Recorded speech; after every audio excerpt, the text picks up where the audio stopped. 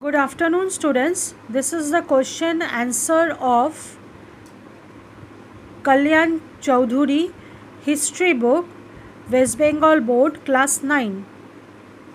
This is the exercise question answers.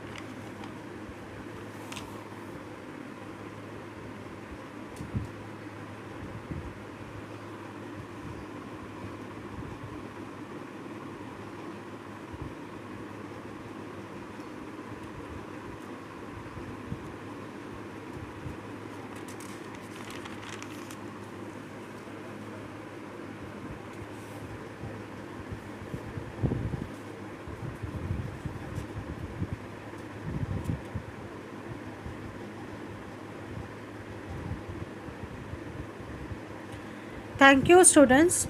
If you are if you liked my video and this question answers, please subscribe me and please press the bell icon for the next chapters solves.